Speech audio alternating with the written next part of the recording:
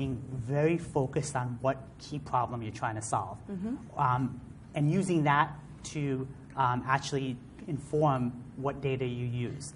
Like, I need to find out the exact business buyer in all these entities, or I need to find out who the right set of people are for my services. Um, that helps you inform what analytics you use and what data um, you ultimately get.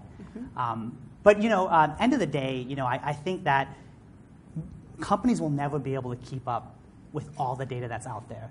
Um, neither will individuals. And uh, typically, you know, at any given time, there's just a small subset of data that companies are using.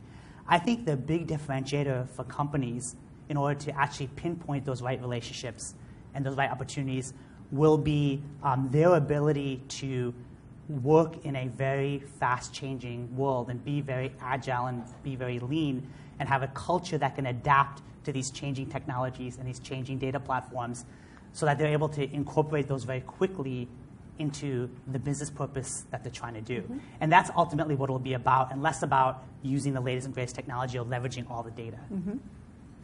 And that's what we're seeing best in class companies doing. Mm-hmm.